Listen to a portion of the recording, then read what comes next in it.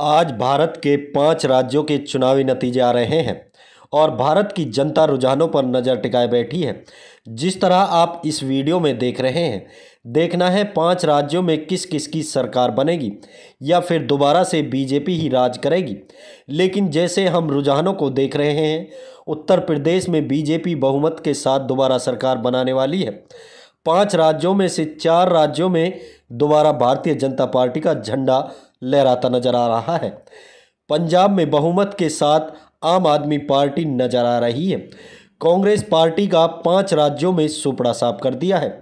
यह रुझान हम आपको एक बजकर चौंतीस मिनट का रुझान बता रहे हैं। क्लियर तो शाम तक पता चलेगा, लेकिन पाँच राज्यों में कौन राजा बनेगा? सवाल यह बनता है। आप हमें कमेंट करके ज़रूर बताइएगा।